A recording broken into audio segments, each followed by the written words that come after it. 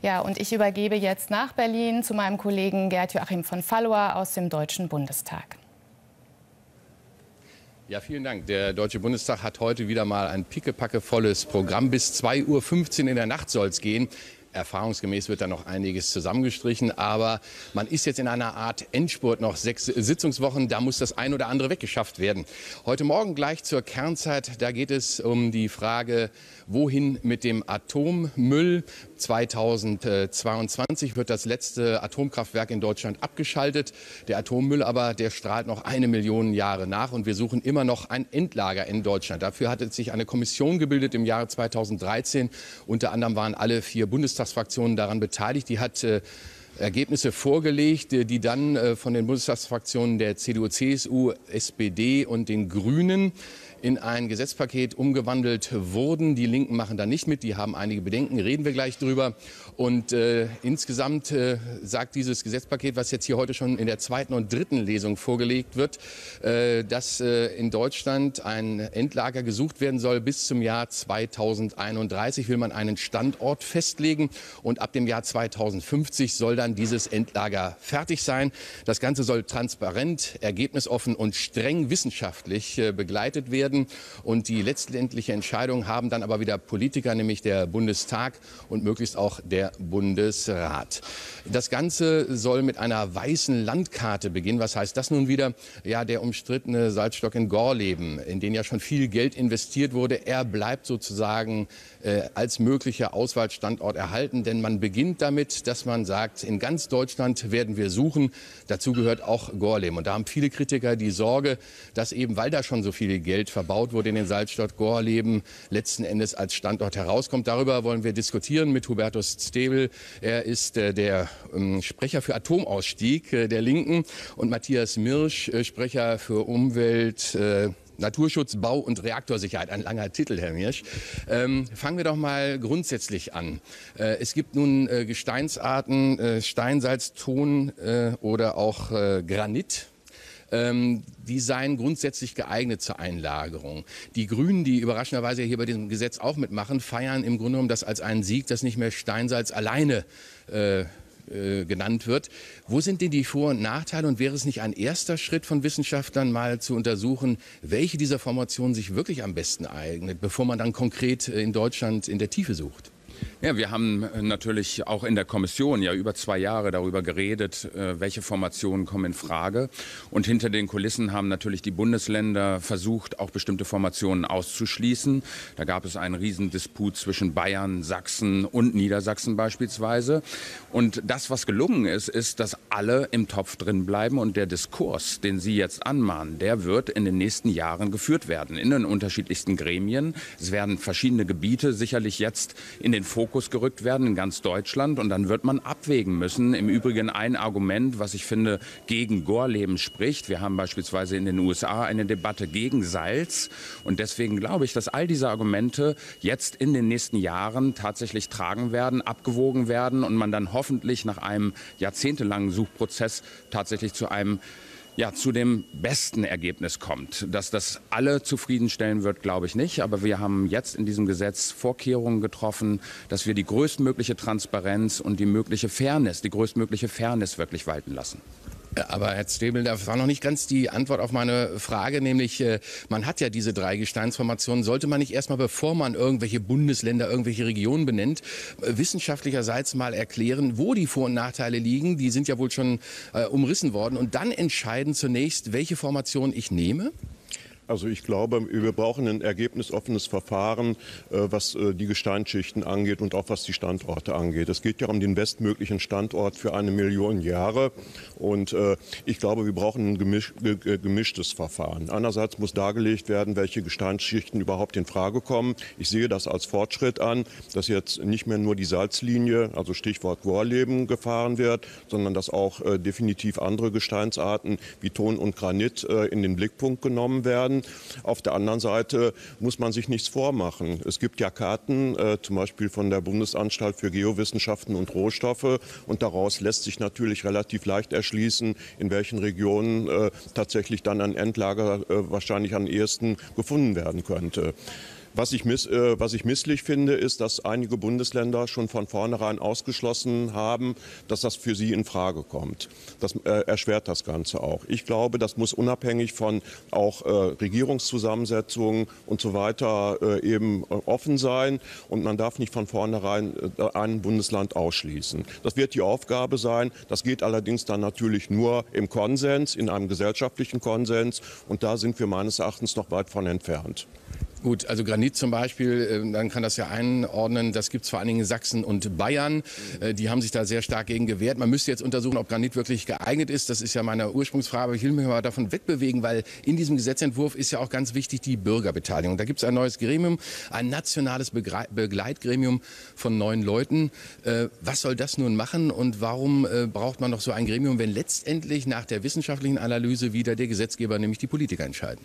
Also Herr von Vollmer, das Erste, was ich sagen will, Wissenschaft ist auch nicht eins plus eins gleich zwei. Wissenschaft ist hoch umstritten. Gerade in der Endlagerfrage haben wir das erlebt. Und deswegen braucht es einen äh, Prozess, wo unterschiedlichste Akteure miteinander tatsächlich ringen um den besten Weg. Und das nationale Begleitgremium ist ein Gremium, für das ich mich vor allen Dingen eingesetzt habe.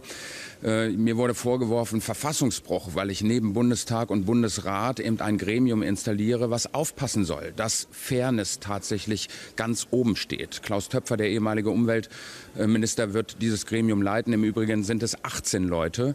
Das heißt, ähm, es werden Leute sein aus Wissenschaft, aus Gesellschaft, aber aber eben auch Zufallsbürger, Leute, die bis jetzt kein Background hatten, die aber sagen sollen und auch im Zweifel durch Hinzunahme von Wissenschaft äh, sagen und beurteilen sollen, da läuft was schief. Wir wollen das Ganze transparent. Das ist im Übrigen etwas aus jahrzehntelanger vermurkster Politik, wo es um Tricksen und Täuschen teilweise in Sachen Gorleben ging. Das wollen wir nicht. Hier muss sich jeder rechtfertigen für seinen nächsten Verfahrensschritt. Und damit haben wir, glaube ich, ein ganz wichtiges Gremium geschaffen.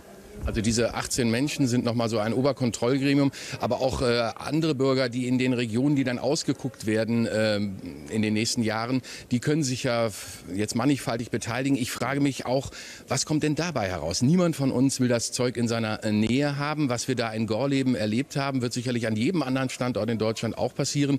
Also was ist diese Pseudo-Bürgerbeteiligung, wenn man letzten Endes aber am Schluss als Politiker entscheiden muss, nach den und den Kriterien werden wir das Zeug sehr wohl äh, in A, B, C einlagern, also in dem Ort, der dann nicht mehr vielleicht Gorleben heißen muss. Also ich glaube, dass es sinnvoll ist, auf ein breites Beteiligungsverfahren zu setzen. Äh, ich stimme auch ausdrücklich Herrn Mirsch zu mit dem nationalen Begleitgremium. Da habe ich mich auch äh, für die Fraktion Die Linke sehr stark für gemacht, dass das jetzt sehr schnell eingerichtet wird, also auch noch bevor äh, die Gesetze tatsächlich dann novelliert werden. Das war ja ein Ergebnis auch der Endlagersuchkommission. Gleichzeitig wird es einen Rat der Region und andere Gremien geben, wo sich Bürgerinnen und Bürger beteiligen können.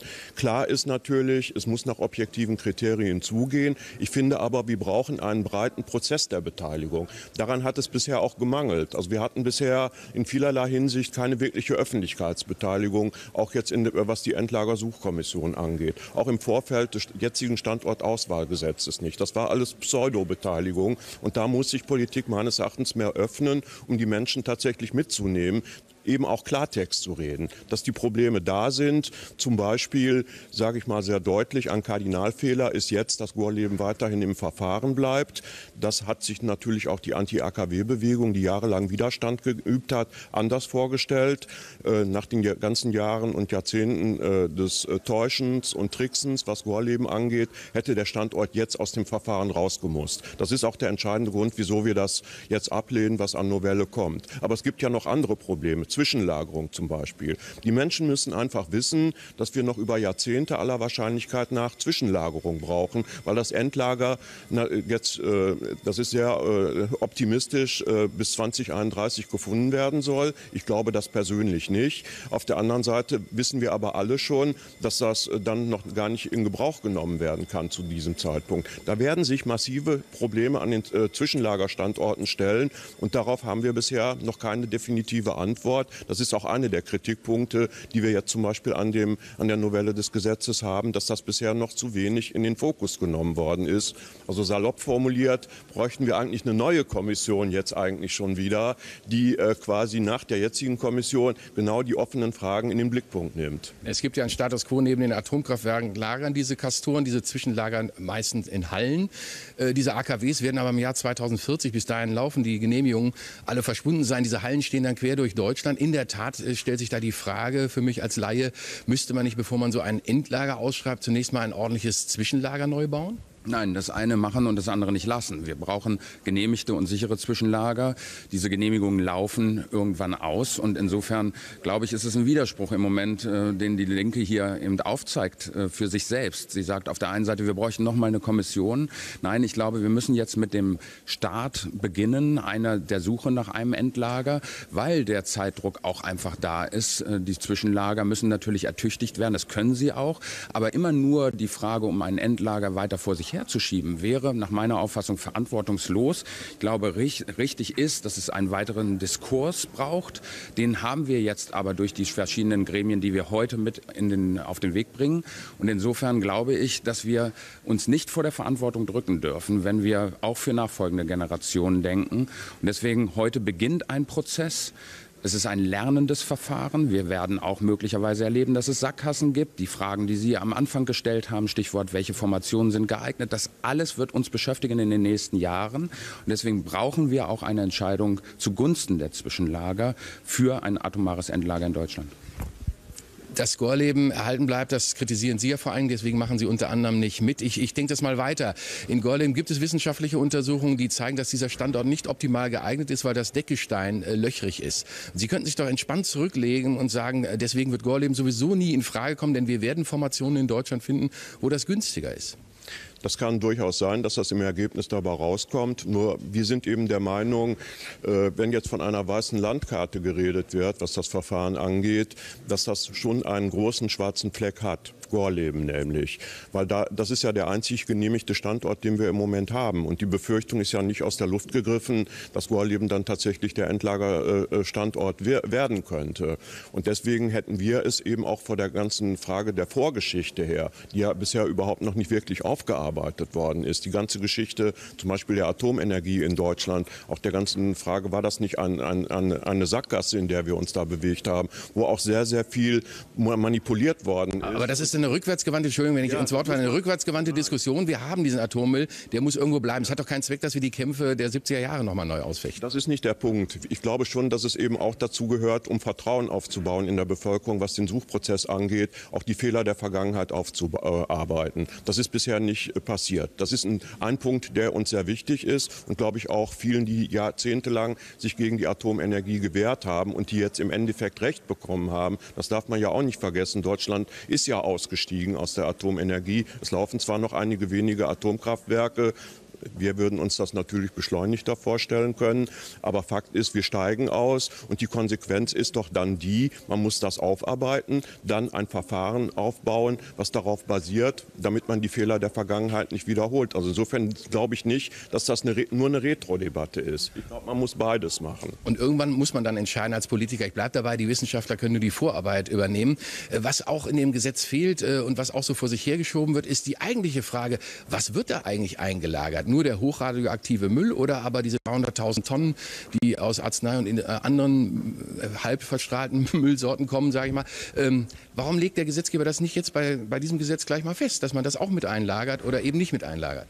Herr van Valois, das sind alles Fragen, die Sie mal in ein paar Sekunden stellen, die sich aber nicht in ein paar Sekunden beantworten lassen. Und insofern sieht das. Ja, die Kommission hat drei Jahre getagt und Sie haben jetzt ein Dreivierteljahr einen Gesetzentwurf gemacht. Also irgendwo ist da schon viel Zeit vergangen. Ja, aber es ist nicht ganz trivial, ähm, ganz viel Müll einzulagern. Also das äh, schwach- und mittelradioaktive Müll gleich noch dazu. Insofern äh, haben wir in dem Gesetz den Fokus jetzt auf den hochradioaktiven Müll. Wir haben daneben ja Schacht Konrad. Wir haben die Problematik der Asse, ob wir dort noch Müll bergen können, das wissen wir alle noch nicht. Das haben wir zwar beschlossen, aber ob da die Standortsicherheit dieses Bergwerks gewährleistet ist, wissen wir alle noch nicht. Insofern hat das Gesetz auch noch mit einem Auge die ähm, Aufmerksamkeit auf den anderen Müll. Aber hier haben wir jetzt erstmal für uns genommen, das ist das größte Problem, der hochradioaktive Müll. Und deswegen ist dieses auch im Fokus dieses Gesetzes.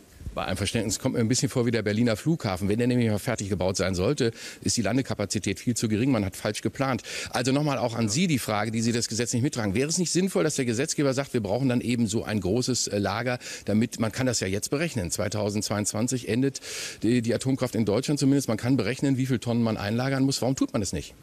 Also ich glaube, das ist eine der entscheidenden Fragen, die die Kommission nicht gelöst hat. Das haben wir auch immer wieder kritisiert. Es gibt ja das nationale Entsorgungsprogramm, wo genau die Mengen des Atommülls auch berechnet worden sind. Und äh, es gibt natürlich das Problem des mittel- und schwach radioaktiven Mülls. Und da bin ich der Meinung, es wäre ehrlicher gewesen, diese Debatte äh, auch in der Kommission zu führen. Dazu waren aber die Mehrheit der Kommission letztlich nicht äh, bereit, um das nationale Entsorgungsprogramm auch mit auf die Tagesordnung zu nehmen. Das führt jetzt dazu, dass die Debatte natürlich auch ein bisschen unehrlich läuft. Weil ich bin glaub, der Meinung, man muss ganz klipp und klar sagen, es gibt zwei Möglichkeiten. Die eine ist die alles zusammenpacken. Das lehnen wir zum Beispiel ab.